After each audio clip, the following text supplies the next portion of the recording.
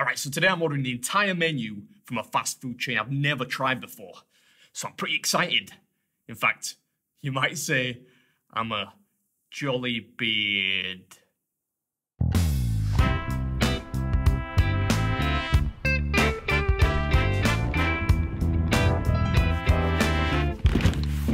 Ah, Leeds.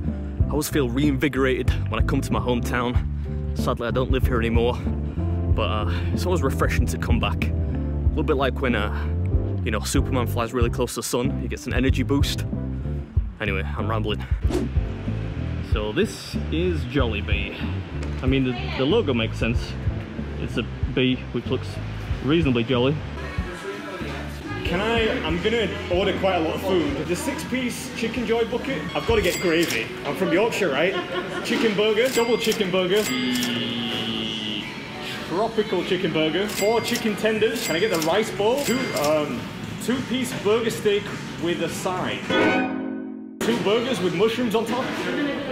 Whose idea was that? The yum burger with cheese, the double yum burger with cheese, the jolly hot dog, jolly spaghetti, some fries, and uh, chocolate coconut sundae. I think I've got everything. Yeah, I think so, yeah.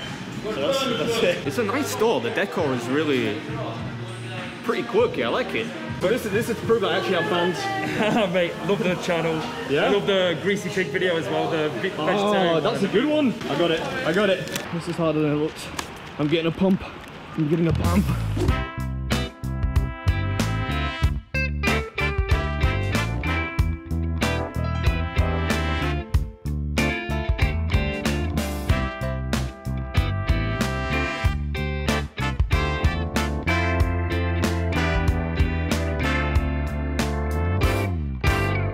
Right, Jollibee. Let's take this thing for a spin. So here in front of me, I got one of every item, or at least one of every different item available on the Jollibee UK menu. And uh, yeah, let's cut to the quick and eat it all. I'll throw up a calorie count on screen, and I'll put a timer up there somewhere.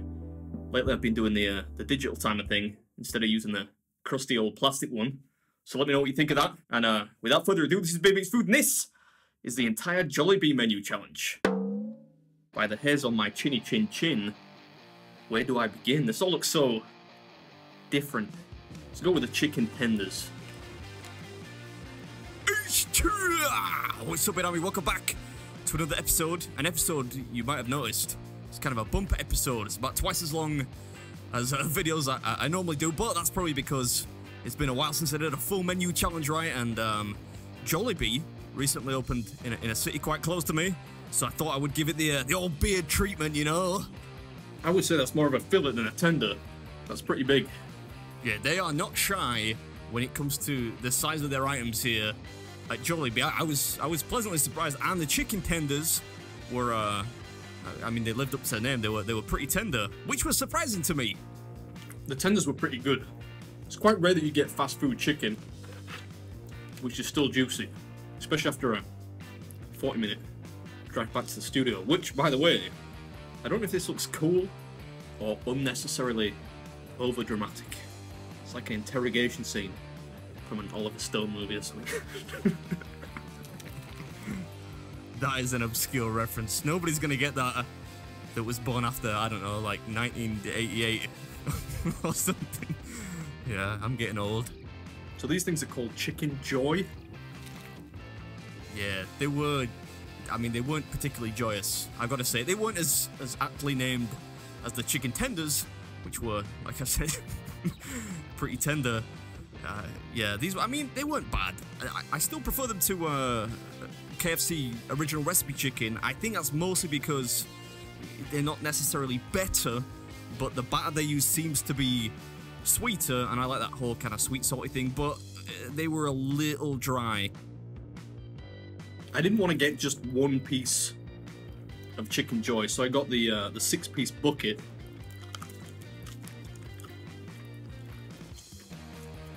I guess this is their equivalent of uh, KFC original recipe chicken. Already said that in the commentary. Shut up. You make us look unprofessional. Between that and the, the wobbly table and the sound. oh, the sound is so bad on this video. I, don't worry, I, I am fixing it. It's just a question of dialing in a few things at the, at the new studio. So, you know, um, you have to Give me a break. Give me a break. It's just kind of hit and miss. Yeah, I, I would say maybe one, one out of the six pieces of Chicken Joy, one or two maybe were passable. The the rest were a little bit naff. It doesn't seem quite as juicy as the chicken tenders. Yeah, crunchy though. Can you hear that? It's crunchy if uh, if nothing else. Anyway, while we're eating the chicken, I should say welcome to my uh, what would you call this? Antechamber? I don't, I don't one of the many rooms at my uh, my new place. I hope you like it. We've got a, a wacky plaid sofa in the background for no reason. Some uh, little shop of horrors, vines growing out the walls. Ooh, picking a bone out of my teeth. That was a close call. All right, now we're into some of the more fun items. Let's go with the uh, the Yum Burger. I, I don't really know why I find the the menu items at Jollibee so funny. they seem kind of quite literally named. The Yum Burger was pretty yummy though, a little odd. Uh, and I don't know what the dressing on there is, but um, it, it tastes a lot like Thousand Island, but it, it gave it something else. It tastes like uh, the kind of burger you would get from a, a van at a football stadium, but with uh, what tastes like Thousand Island dressing on top. That- See, that, that makes it sound like a bad thing, right? Because the the food vendors at football stadiums typically aren't, you know, let's just say they're not fantastic. But there's a certain charm to them. A lot of people like those uh, those types of burgers, so I I think that was one reason I actually kind of uh, enjoyed these. I don't know why I'm just staring at the camera here. what you looking at? They were pretty good though. I'm impressed by the texture. Nothing's dried out too much. This is the uh, the double chicken burger in the brioche bun. For a fast food burger, this does look pretty good. Yeah, now we're getting to it. I, this actually, it turns out this was not the double. This is just a single. You think by the age of 35, I, you know, I should be able to count, but um, alas, not to be. Oh no, wait, this is the. Uh, I thought there weren't two uh, two chicken fillets in there. Raw. That's a mouthful. I just like I momentarily sounded like a robot there. I, don't know what I did. Uh, amateur hour. Anyway, yeah, the, the chicken burgers. These for me are the standout things on the Jollibee menu. I really enjoyed all of these. That was a substantial burger. Yeah, these things, they're surprisingly big. They're kind of more the thing you would expect from a burger restaurant, you know, rather than a, a fast food chain. The uh, the tropical burger.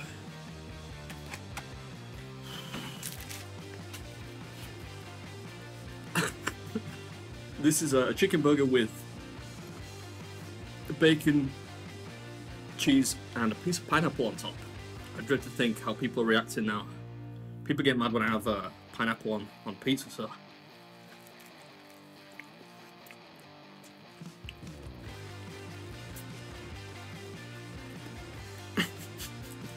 It works, that is lush. I mean, inevitably, the whole thing falls apart, but it does taste good. Yeah, I'll tell you what, what it lacks in uh, in structural integrity, it makes up for in flavor. Trust me. I thought that was going to be disgusting, but it was great. Mm. Look at that, a face only a mother could love. I've got to say the the the, the tropical burger, that's going right to the top. I, that could be in my top top five fast food items. That's a big statement to make, but I, I really enjoyed that. All right, so up until there, I understand Jollibee. I, I kind of get it. Fried chicken, chicken tenders, beef burgers, but um, spaghetti. That's kind of out of left field. Why would you sell spaghetti at a fried chicken place? Let's do this uh, this rice bowl first. Now I think about it though, are they selling spaghetti at a fried chicken place, or are they selling fried chicken at a spaghetti place? Who knows? That's a pretty measly portion. I think I'll dip those in the in the sundae at the end. Now this, I have no idea who came up with this. Whose idea was it to sell two burger pies with some gravy, mushrooms, and uh, and rice? I'm gonna. I need to put some sauce on this. Sweet chili, I think this is. They forgot the additional gravy too. Come on, so thick.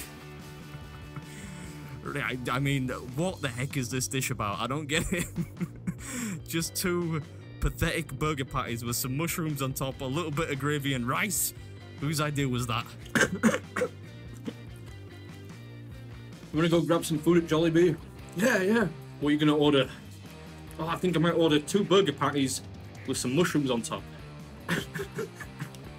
that Jollibee restaurant has been open like three days, but I'm almost certain I'm the first person to actually order this.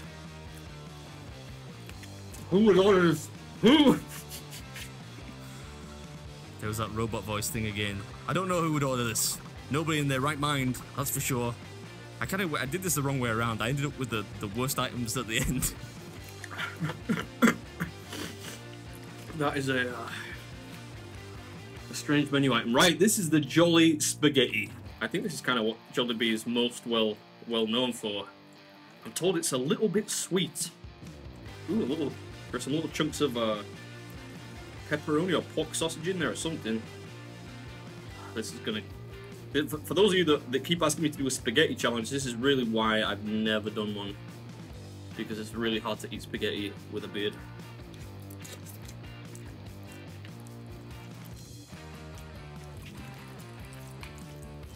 I'm just gonna have to get dirty. Same thing we do every week, Pinky. It's like eating the noodle soup all over again. I don't, uh, well, I, there isn't quite as much of it. That's uh, that's one thing. But I mean, the spaghetti was, I, it wasn't bad, and I don't want to say it was really good. It was unique, I'll give it that. But there was something about the the sweetness of it which was a little off.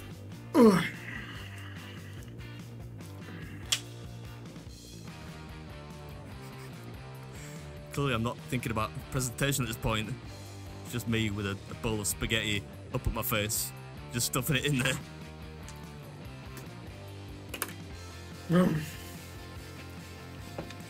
All right, there we go. Spaghetti down. Just a few more items to go. A little clean up. Take a two-second breather, and we'll get into the hot dog. The spaghetti definitely has a, a unique taste. It almost tastes like it's artificially sweetened or something. Alright, this is a hot dog with cheese on top and some kind of greeny yellow sauce that looks not unreminiscent of uh, some kind of bodily mucus.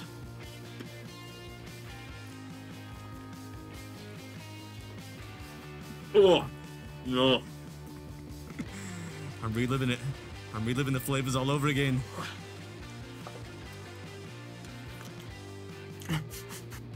This tastes as bad as it looks. Oh, I can't even put into words. This this was so bad. It's, it's kind of a shame. At at least it's only one item. The rest of the stuff was really unique. I, I actually enjoyed most of it. But this hot dog, I have no idea what that sauce was on there. But you,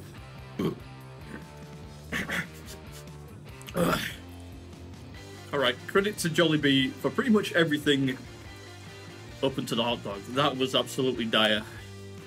If you're gonna go to Jollibee, don't get the hot dog. The hot dog's so bad, I'm actually looking forward to the fries. I think it would be unfair to uh, to judge the fries because they are pretty cold now. yeah, I mean, potatoes is potatoes, right? Everyone knows how I feel about fries. These didn't seem particularly bad, just cold, which is, you know, understandable. But um, I did fix the heating. Just um, a shame that I haven't yet fixed the sound. and this table is is temporary and wobbly. Um, so uh, yeah, I promise I'll get those fixed in time for the for the next one. Thanks for watching. I'll catch you next time. I don't think I'm gonna need the spoon.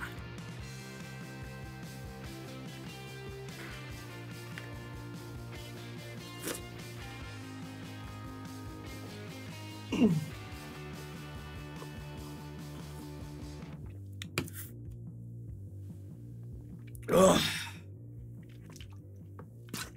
This is Beard Meats Food, and that was the uh, the entire Jollibee UK menu, which was by and large pretty good. That hot dog was heinous, though. It's terrible. Hope you enjoyed it. And I'll catch you at the next one. Ugh, There's quite a lot of food. Those balls are deceptively large.